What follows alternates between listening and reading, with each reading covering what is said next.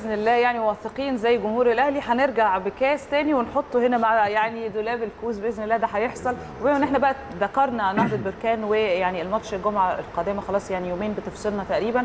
خليني أروح مع حضرتك لأن مش هروح للفنيات على قد ما هروح ل يعني قصة هنا التنافسية. إحنا بنتكلم في نهضة بركان. آه فريق مش ضعيف ولكن هو مش نفس المستوى اللي إحنا عهدناه قبل كده ووقت لما أخذ الكونفدرالية. في فرق كبير جدا. آه، حتى في الدوري ال- السنة دي هو متراجع بشكل كبير. آه، هل ده يقدر يدي طمأنينة يدي خوف؟ خاصة- إن في تصريحات كانت من اللعيبة هناك في الفريق كانوا بيتكلموا إن هم لا عندهم تحدي وهم جاهزين وهم يعني الماتشات المحلية أو البطولات المحلية لا مش هتبقى انعكاسها إن ده هم مش هيقدروا ينافسوا الأهلي يعني. خليني أقول لك إن أي فريق بيبقى شرف ليه ان هو يلعب النادي الاهلي ده- لأن الأهلي طبعا بالأرقام والإحصائيات وبالتاريخ هو أفضل نادي في القارة الإفريقية فده ده طبيعي. يعني يعني زي ما تقولي احتفاء احتفالية. انت بتلاعب النادي الأهلي في أوقات كتيرة جدا. في أندية ما ب- ما مش بتنول الشرف ده إن هو يلعب النادي الأهلي. يلعب في بطولة يعني مش م- مش مباراة ودية. النهارده نهضة بركينا عنده مباراة مع النادي الأهلي. مباراة بالنسبة له للتاريخ. لو مباراه ببطولة للتاريخ. خد طبعا بالك للتاريخ انت بتلاعب النادي الأهلي بتتحط في السي في بتاعك كنادي. لعيبه النادي الأهلي في, في السوبر الأفريقي. ولكن خليني أقول لك إن دايما أو المعهود على السوبر السوبر في العالم سواء إذا كان السوبر الأوروبي أو الأفريقي بطل الدو بطل الأبطال الدوري بيبقى له ال- الغلبة بيبقى له الأغلبية هو الأفضل.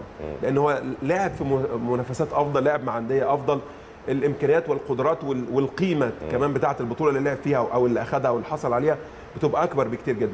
آه مباراة في الملعب تنافسية ما بين الأهلي ونهضة بركان مش تقليلا من نهضة بركان أكيد. ولكن الأهلي أفضل بكتير جدا. إحنا التصريحات دي سمعناها من سان داونز وسمعناها من الزمالك وسمعناها من من سيمبا وسمعناها من كل يعني كل ما بنلاعب فرقة بنسمع تصريحات من هنا لحد بعد لحد ما الماتش يبتدي بخمس دقائق وفي النهاية ال- الأهلي هو الأهلي الأهلي هو. بينتصر بإمكانياته وقدراته وروحه العالية جدا جدا جدا وده اللي بيخلي الناس خد بالك يعني ده اللي بيخلي الناس تحط الاهلي في قيمته الحقيقية. إنك أنت النهارده مهما كانت التصريح يعني في فرق بتتخض من التصريحات شوية. لما مدير فني يطلع يطلع تصريح تلاقي اللعيبة اتخضت وقلقت والمدير الفني ابتدى يغير حساباته.